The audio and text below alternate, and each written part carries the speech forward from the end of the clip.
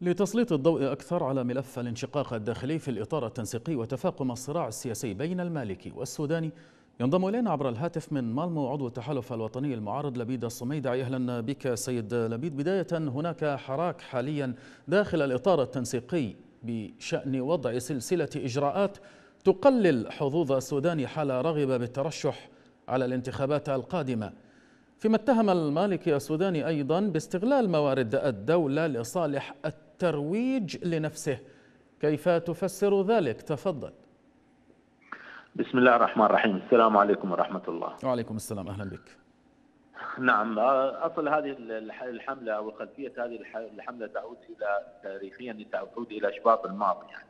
لأن الإطار التنسيقي في ذلك الوقت أجرى أجرى عملية تحليل يعني دراسة عدد دراسة لتحليل أوزان أحزابه يعني.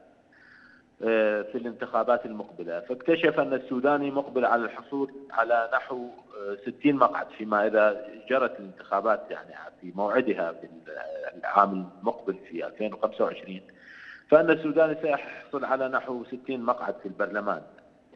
وما دلل على ذلك واكد على أن هذه الدراسة تقترب من الحقيقة يعني والواقع فأن الحلفاء المالكي أو حلفاء السودانية وهم محافظون أقوياء فازوا في انتخابات المحافظة يعني في البصرة فاز اسعد العيداني وفي كربلاء طيب الخطابي وفي واسط محمد المياحي وهؤلاء يشكلون أهم أهم الأعضاء أو أهم قاده أو رؤوس التحالف الذي ينوي السوداني أن يبنيه في ويتقدم في الانتخابات يعني. نعم. فل لذلك يعني هذا هذه النتائج التي قامت بها التحليلية التي قاموا بأجروها أصبحت مخيفة بالنسبة للجميع يعني جميع القوى القوى التي تمثل الإطار التنسيقي. وعلى رأس هذه القوى النور المالكي لأننا نعرف بأن النور المالكي هو متهالك على مسألة العودة إلى رئاسة الحكومة. فإذا قيض للسودان ان يفوز بهذا العدد من المقاعد في البرلمان. نعم. فإن فرصة رئاسة الحكومة ستؤول إليه بالتأكيد. نعم. نعم. طيب هل يمكن القول إن السوداني تمرد على الإطار وبات يهدد ويلتهم مكتسباتهم؟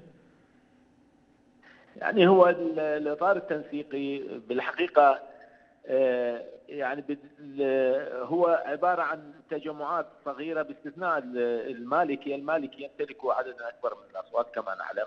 نعم. لكن السوداني بالأساس كان يمتلك حظوظا أكثر من أو يمتلكوا عددا من المقاعد هو أكثر بكثير من القوى الأخرى مثل جماعة الهادي العامري وجماعة قيس الخزعلي نعم. والميليشيات قادة الميليشيات فهو كان كان بالأساس أقوى الضعفاء يعني.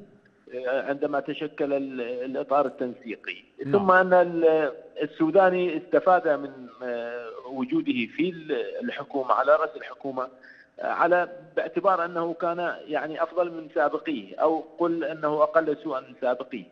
ثم أجرى يعني عددا من الإنجازات يعني إذا صح التعبير يعني خصوصا فيما يتعلق بإعادة مصفى بيجي للتشغيل يعني واستعاده أجزاء كبيرة من المصفى افتتاح مصانع الحديد والصلب في البصرة بناء مشاريع يعني هناك هناك إنجازات يعني لا لا نستطيع أن ننكر ننكر ذلك. ثم أن لكن هناك من قال إن مثل هذه الإنجازات كانت على وشك أن تتم وما قام به السوداني ليس أكثر من افتتاحها وقد تمت وأنجزت، يعني لم يبدأها من الصفر وإنما كانت على وشك أن تتم، على أي حال أريد منك متكرما أستاذ لبيد أن تتابع إجابتك فيما يتعلق بإلى أين ستتجه الأمور برأيك في ظل ظهور هذا الانقسام بين شركاء العملية السياسية إن صح التعبير؟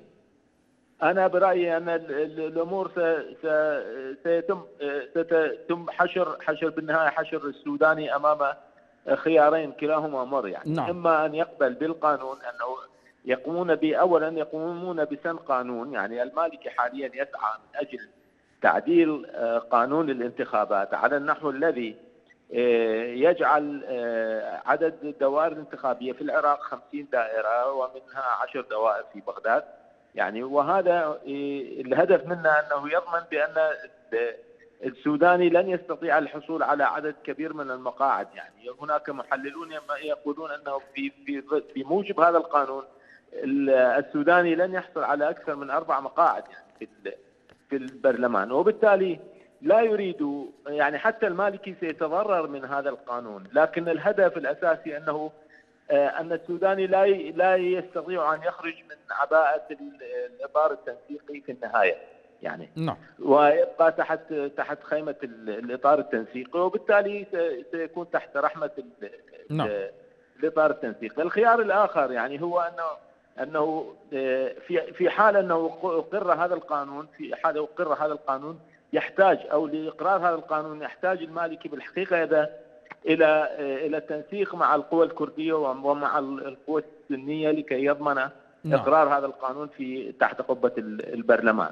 طيب بعد أن أصرت بعد أن أصرت أحزاب السلطة أستاذ لبيد على اعتماد نعم. قانون سانت ليغو كما تعلم خلال انتخابات مجالس المحافظات الأخيرة يجري الحديث اليوم بشأن إجراء تعديل جديد على قانون الانتخابات، ما الهدف من هذا الأمر باعتقادكم؟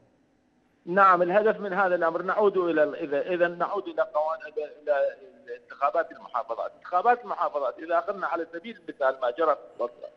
في البصرة حصل أسعد العيداني على أكثر من 160 ألف مقعد. نعم. فهذا المقعد على أكثر من 160 ألف صوت عفوا. هذه هذا العدد الكبير من الأصوات مكن طبعا أسعد العيداني من الحصول على مقعد والفائض تمكن آه، بفضله بفضل هذا العدد الكبير أن أن يفوز 12 آه، مرشح أيضا للمقاعد. يعني استطاع هذا العدد أن أن يضمن 12 مقعد لتحالف أسعد العيداني وهذا اذا وبما أن أسعد العيداني أحد حلفاء السوداني وبما ان السوداني آه، مرشح أو آه، يعتقد بأنه آه، مرجح بأنه سيحصل على عدد كبير من الأصوات في حال في, في الانتخابات المقبلة.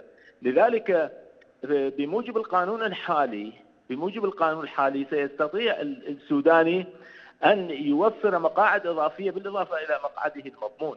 لذلك يعني يسعون إلى تغيير قانون الانتخابات نعم أو إعادة تشكيله نعم. بطريقة تتناسب نعم. مع فكرة توزيع المقاعد. تمام. فلذلك هم يريدون يريد المالكي وجماعته ان أن يغيروا القانون بحيث انه بأن مهما كان عدد الأصوات التي يحصل عليها الفائز لن نعم. تخوله بزيادة عدد المقاعد أكثر من مقعده هو نفسه. نعم.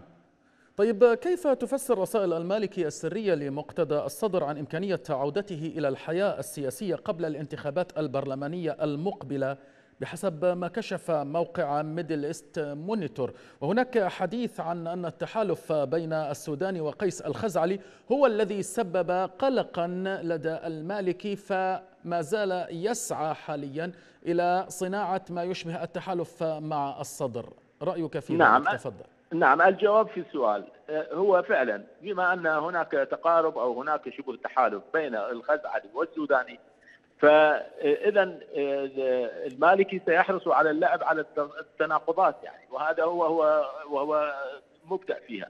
نعم. يعني لذلك يعرف أن أن الخزعلي هو غريم الصدر لذلك سيستفيد من هذا التناقض بينهما آه، من أجل محاولة استقطاب نعم. الصدر ومحاولة جره إلى إلى الانتخابات أو محاولة يعني استرضائه فيما يتعلق بتحالف ربما مقبل بعد الانتخابات نعم. القادمة.